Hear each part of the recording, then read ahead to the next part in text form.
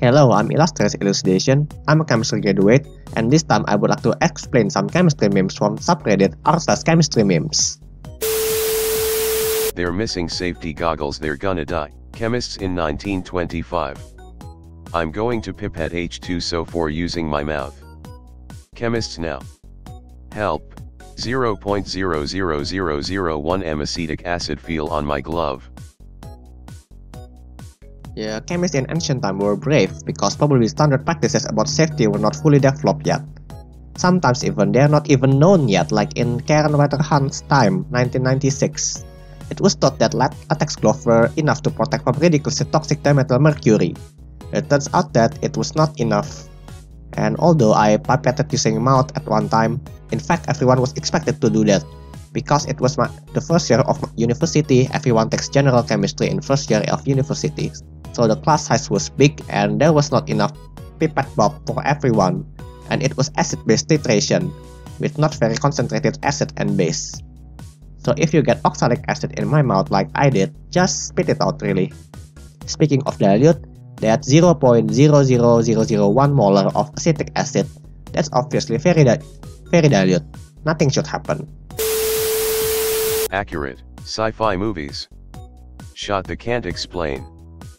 Quantum. Slap quantum in everything.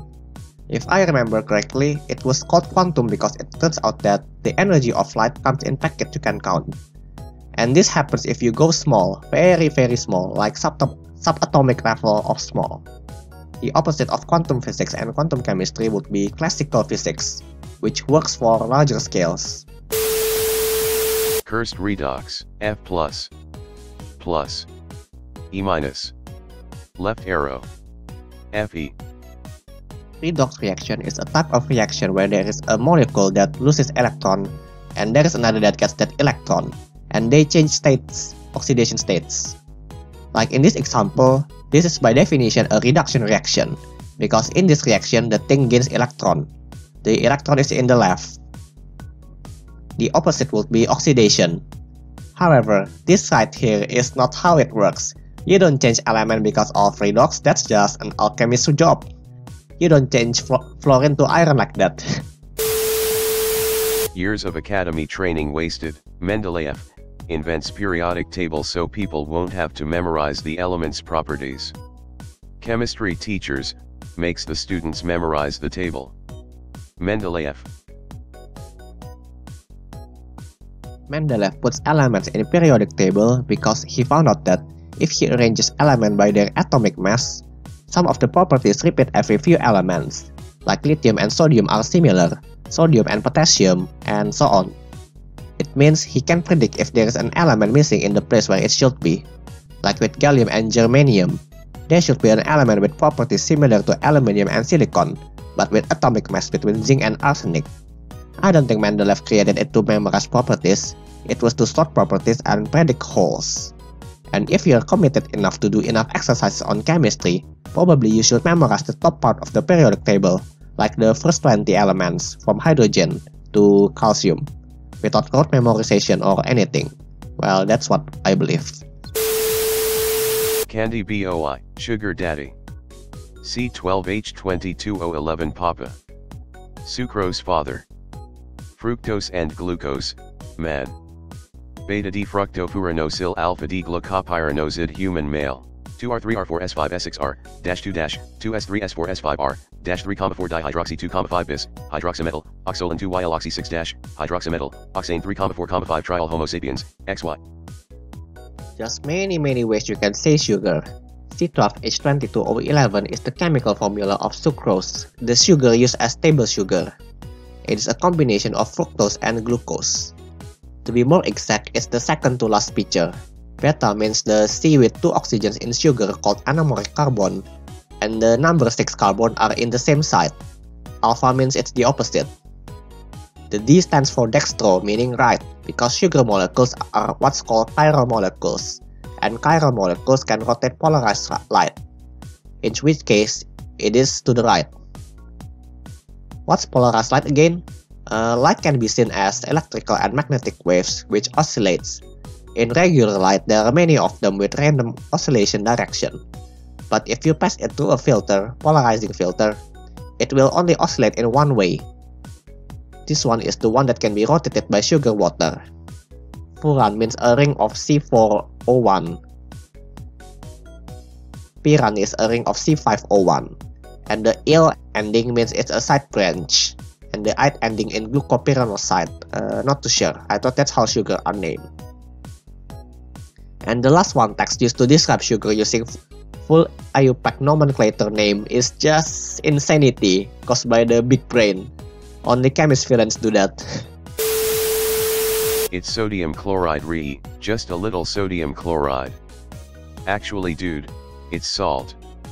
That's what I said, sodium chloride. Uh dude, that would be salt. This is iodized table salt, which in addition to sodium chloride contains anti-caking agents and potassium iodate, which is added to prevent iodine deficiency.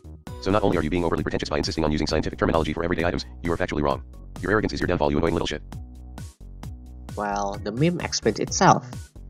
Well, table salt is mostly sodium chloride, so I believe you can say that table salt is sodium chloride.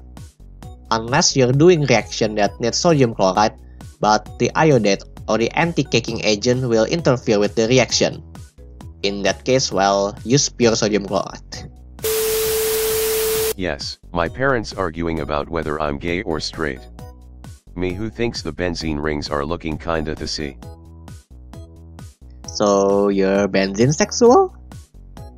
Benzene is an organic compound used as a solvent, and it's thrown in a paper like this. This ring is special because by alternating single bond and double bonds, it becomes much more stable. Other compound with double bonds can easily attack by say bromine, but not for benzene. It is definitely much harder, and when it does react, the double bond doesn't open up.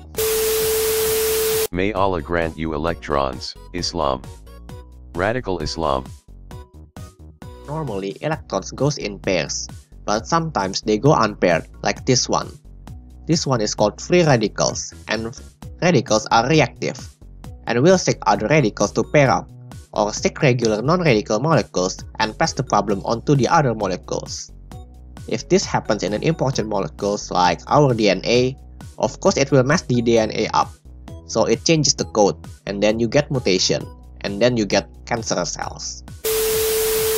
It's true though, me with high school chemistry knowledge pretending to understand r slash chemistry memes. How do you do, fellow chemist? Uh, is it? I think some are, but the other can be accessed with high school chemistry. Let's see some of the memes in this video. I think it's immediately obvious here that 0.00001 molar is a very dilute concentration here, it's too dilute to do any harm. I think a decent school should start discussing quantum physics or modern physics in third year of high school, where everything classical physics has been discussed. You should be able to recognize that this reaction is a reduction reaction and it's taught in high school. The history of the periodic table should be in the beginning of the high school chemistry class. I think if you get to fructose plus glucose level, you're Gucci here, you're fine. The bottom two are just big brain level of insanity. While every high schooler knows salt is sodium chloride, uh, the benzenes are taught in the organic chemistry section in high school. Is there a high school where you don't some where you somehow pass chemistry without ever drawing the benzene ring at least once? Okay, this one I don't know which which chapter in high school chemistry discusses radical. Cannot recall on top of my head.